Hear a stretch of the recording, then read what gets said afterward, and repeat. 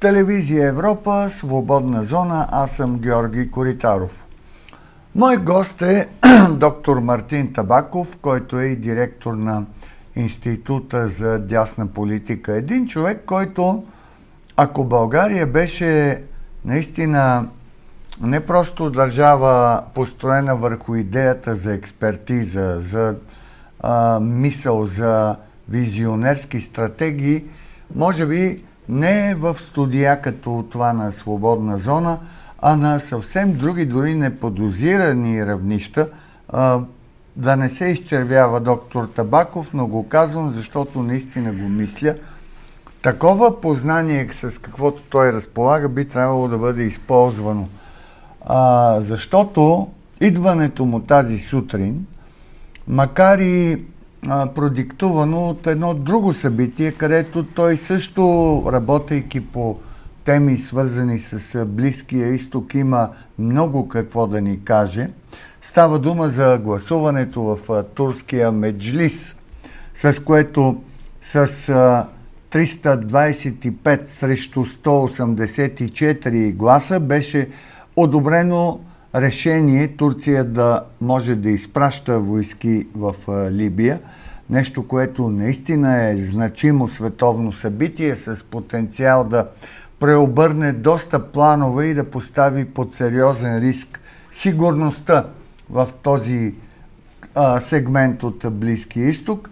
Часове по-късно а, удар с а, дрон на Съединените щати ликвидира генерал-майор Касем Солеймани, който е а, главнокомандващият на елитните части Ал-Куц на Ислямската революционна гвардия и един човек, който е бил заедно с него на летището в Багдад, Абу Махди Ал Мухандис, който е заместник командващ на шиитското опълчение в Ирак.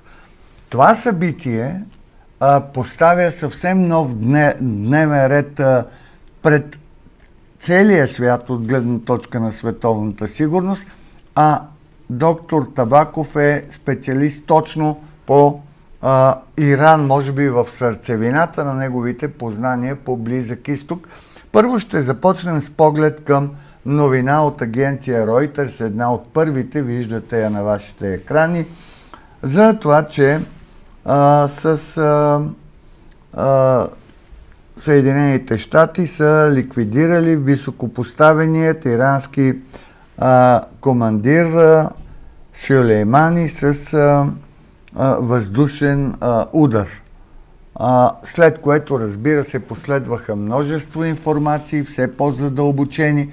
Може би в момента или ако не сега, то всеки момент в Телавив предстои заседание при министъра на отбраната Нафтали Бенет на генералния а, във връзка с тази извънредно възникнала случка.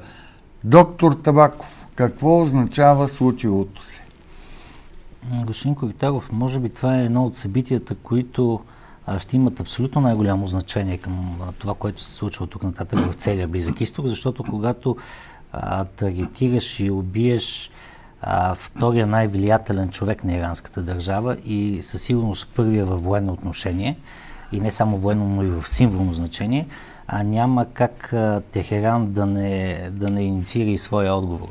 А Касем Сулеймани, а, не случайно казвам, че има и голямо символно значение, защото този човек стоеше в основата на разработването на дефанзивната концепция за защита на Иран, но когато казвам отбранителна концепция, тя всъщност беше много атакуваща такава. Става дума за това, че от общо взето от Исламската революция насам от 79-та година а, и особено след Ирано-Иракската война, а, има една особена персийска менталност, която стоеше в основата на формирането на такъв тип отбранителна стратегия, която да се развива на територии, които да не са ирански.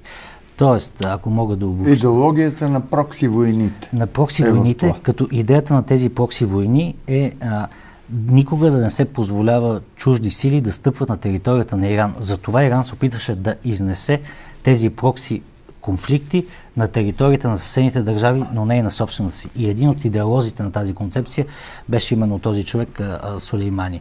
А за това а, неговото убийство а, със сигурност ще има реакция от, а, от страна на Техран. Въпросът е да видим в каква степен ще, ще е тя. Това дори беше декларативно оповестено от Али Хаменей, който е духовният лидер на Исламската република, което означава изключително висока степен на ангажимент за реванш. Точно така. От, от тук нататък остава въпроса а кога и по каква форма ще бъде отговорът на, на Иран. Аз лично не смятам, че те ще че те ще реагират още днес или тези дни. Напротив, ще, ще имат нужда, режима там ще има нужда от някакво техническо време, за да осмисли каква форма трябва да бъде реакцията. А, и реакциите им са им доста възможни. От тук нататък всякаква, всяка една а, американска военна база, която е на територията на, а, на Ирак, на Ливан, а, и не само, хайде Катар ще извада от сметките, защото все пак Катар и а, Иран са в добри отношения покрай катарската криза, но всичко около, а, включително Персийския залив, където има американски войници, ще бъде потенциално а, цел за удар от страна на, на, на Техеран. Но тук трябва да направим едно уточнение.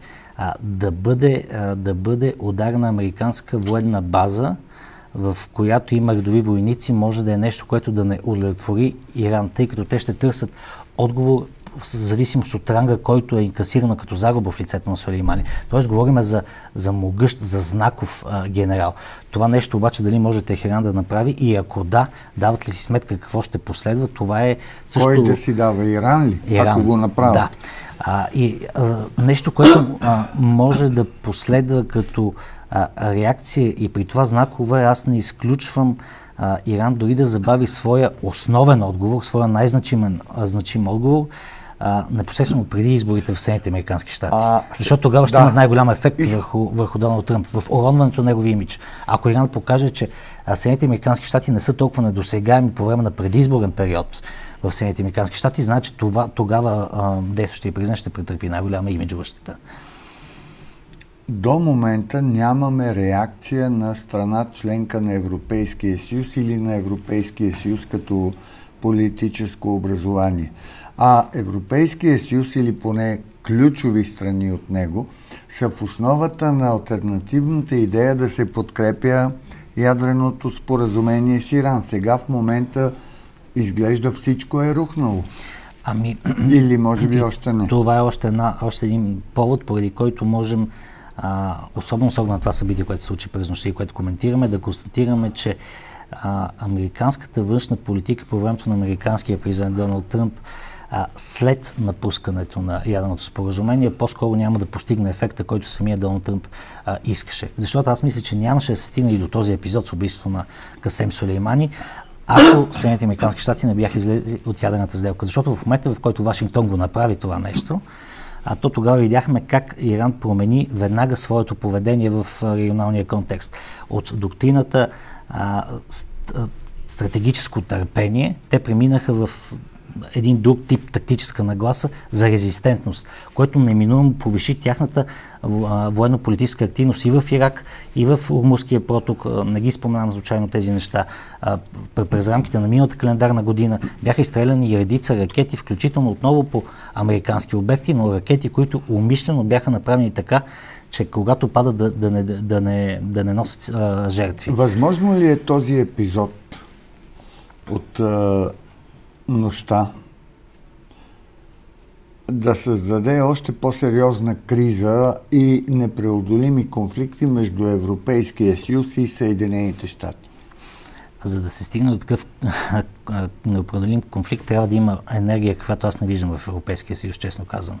А макар че ето пак ще го кажа, Европейския съюз и неговата концепция за диалог и сътрудничество с Иран, като че ли бяха по-успешната концепция, по-успешната стратегия, която може би щеше да избегне такива епизоди, каквито коментираме днес. Защото тази на, на американския президент Доналд Тръмп доведе до точно обратното на това, на което той искаше. А именно един още по-раздразнителен Иран, един още по-опасен и агресивен Иран, нещо, което а, до включването на ядрената сделка и по време на действието на ядрената сделка не беше случая. Да, Иран, разбира се, продължаваше да захранва своите а, прокси сили и въобще своята шиитска мрежа, мрежа и в Ирак, и в Ливан, и в Сирия, но не по тази агресивна форма. Нямаше ги тези поводи за ескалация, каквато, каквито видяхме не само тази нощ, а през цялата миналата година. Сега, през 2003 година, когато Съединените щати е, интервенираха с идея да бъде свален режима на Саддам Хюсин, макар че предлогът се оказа фалшив, твърдението за е, притежаване на оръжие за масово поразяване, последицата беше, че след свалянето на режима на Саддам Хюсин, шиитския компонент в Ирак взе отчетлив превес и Ирак се превърна в своеобразна функция на политиката на Иран. Сега, с това, което стана, ще кажа нещо много дръско, но ще го поставя като въпрос. Възможно ли е много преди Косово и Албания да отворят граница помежду си и да създадат а, непосредствена а, етнообщност, Иран и Ирак да направят така, че да обединят усилия и формално включително, че да създадат единна шиитска общност, на практика единна шиитска разширена държава и това да стане една наистина огромна заплаха за света. Нека първо да кажем аргументите срещу подобна теза. Първият, нека да отчитаме все пак, че а, макар и а, 60% шиит Ирак продължава да бъде преобладаващо арабска страна, за разлика от, а, от а, Иран, което е едната, едното съображение. И второто е да не изпускаме от полезрение и това, че а, дори в това шиитско пространство, без значение дали е персийско или арабско, между Ирак и Иран, има конкуренция на шиитските школи. А, едната е Кум в Иран, другата е Наджав, включително в Ирак които са а, шиитски а, м, доктрини, които не са идентични. А, а не случайно най-влиятелният а, шиитски аятолар в света а, не е Хомейни. А, това е Алиал Систани в Ирак. Той е с, с много по-широка да. легитимност, погледнато вече в цялото шиитско пространство. А, за това а, си мисля, че може би имат предвид нещо друго, че а, интензитета на взаимоотношенията между Иран и Ирак ще, ще бъде а, опасно близък. Ей. Това, за съжаление, го виждаме, виждахме го а, в че много голяма степен. Ще се качи на още по-голям градус, това имам по, Дали ще се качи по-голям градус от толкова, колкото беше, когато министър-председател в Ирак беше Нуриал Малик и опасявам се, че е абсолютно, абсолютно възможно.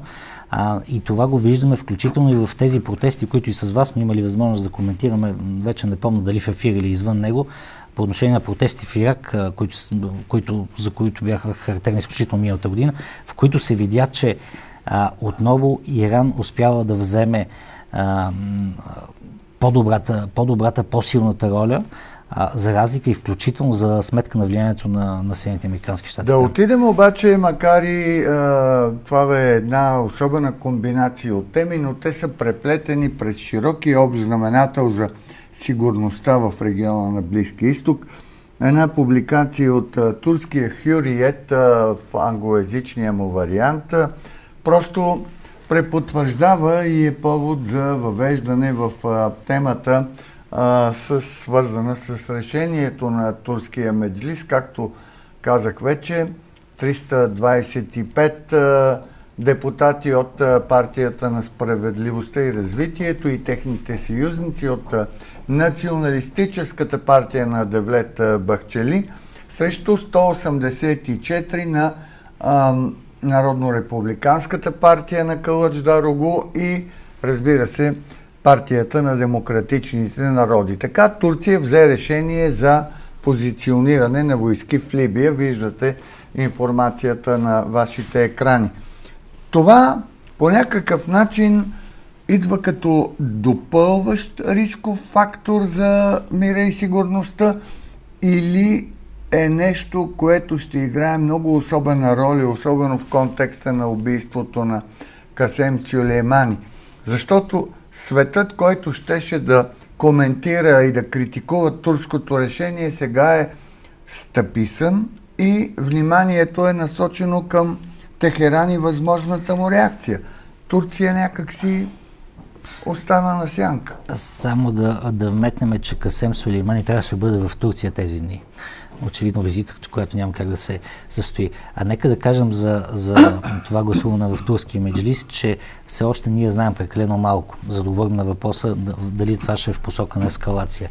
Ние знаем, че е даден мандат за една година. Една година, да. Но не знаеме за какво количество и за какви войски става дума. Някъде бяха споменали, че ще бъдат по-скоро такива риегардни, щабни, обезпечаващи, няма да бъдат но, класически въоръжени. Но това е по-малко, отколкото либийското правителство поиска. И това ми се струва е по-малко, отколкото е амбицията на Ердоган. А, нещо повече, другата теза по въпроса е, че Турция може да изпрати там абсолютно всякакви редовни а, и сухопътни, и военноморски, и военновъздушни а, сили. Това е другия, другата позиция в а, този дебат, какво ще изпрати Турция. А, предстои да видим дали това ще допринесе за рисковия характер на а, ситуацията. Ами знаете ли, когато говорим за Либия, абсолютно всички намесени а, субекти там и регионални и световни казват, че конфликта в страната има само политическо решение и в същото време всяка една от тях продължава да, да, да изпраща включително а, било техни, а, военно-технологическо оборудване, а било а, военни а, субекти, войници и така нататък там, което а, ни подсказва абсолютния дисбаланс между това, което се говори и това, което се върши на практика. Да помним, че Либия е държава, която има военно ембарго, което не се спазва от, от почти никой, от който е намесен там. Турската страна на, вече предоставя, нямаше нужда дори от това решение на Меджлиса, едни дронове Байрактар, предоставя също така брониран тип кола, кирпи и така нататък. Тоест, нарушава се ембаргото така или иначе от всички държави, не само Турция от Египет, от Обединените арабски емирства, авиацията, която е изключително важна и е един от аргументите в полза на това защо Хафтар всъщност предприема тази инициатива по отношение на тази военна инициатива спрямо Триполи, се дължи изключително голяма степен на Египет и на Обединените арабски емирства.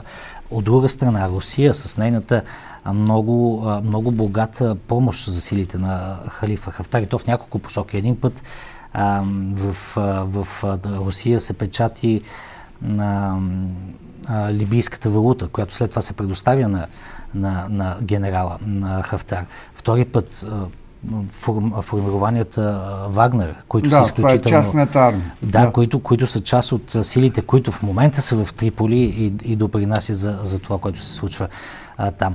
А, тоест, една изключително сложна констелация, в която тази общата, голямата международната рамка, тази, която трябва да изтича от Обединените нации, а някак си изостава и е, на, може би в този смисъл тя е мъртво родена. По никакъв начин не отговаря на, на динамиката, която се случва на терен. Там се говори, че на първо място трябва да, да, да, да се обяви примирие, т.е. да се спрат престрелките. Нещо, което не се прави. А те правят точно обратното на терен точно обратното прави. Трябваше 2018 година а да има проведени избори там. Да, съгласен съм, няма как в тази ситуация да се провеждат избори. Но това го давам като пример посока на това, че имаше абсолютно а, неразбиране на, на това какво трябва да се направи в тази държава. Говоря отново на първо място от ООН и, и, и, и абсолютният дисонанс с това, което на практика Дволичие, политическо лицемерие преди всичко наблюдаваме, защото има а, сблъсък между декларативни принципи и реални скрити интереси, които наистина водят война на терен. Сега ще направим една а, пауза, няма как идват новините, след което продължаваме.